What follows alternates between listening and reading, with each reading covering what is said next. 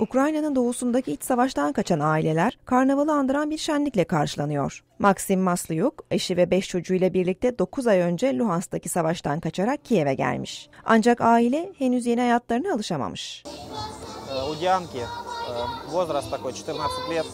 En büyük sorun kızım Diana. 14 yaşında ve Kiev'deki akranlarına ayak uyduramıyor. Onun yaşındaki çocuklar çok acımasız oluyor. Doğulu olan kızımla dalga geçiyorlar.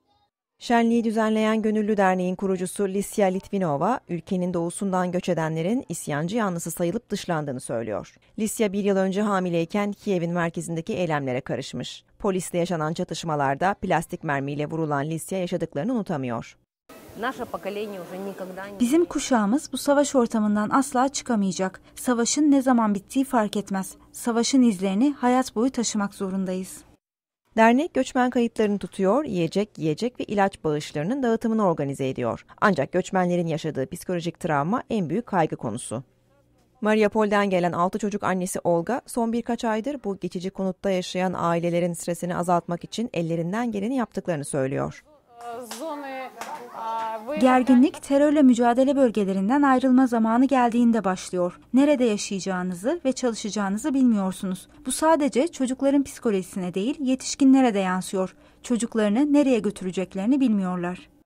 Olga aşırı kalabalık olan tesislerdeki gönüllü psikologların büyük yardımı olduğunu belirtiyor. Koordinatör Marina Breslavets, silahlı çatışmaya tanık olan çocukların büyük zorluklar yaşadığını söylüyor.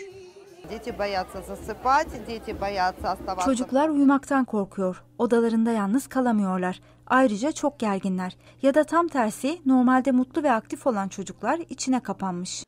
Psikolojik Kriz Merkezi'nin Ukrayna'nın çeşitli yerlerinde yaklaşık 500 gönüllüsü var. Ancak proje koordinatörü Valentina Bukoskaya daha fazla desteğe ihtiyaç olduğunu söylüyor. Hükümetten yeterli yardım alamıyoruz. Hükümet standartlarında rehabilitasyon merkezlerine ve programlarına ihtiyacımız var. Ayşegül Simit, Amerika'nın Sesi, Washington.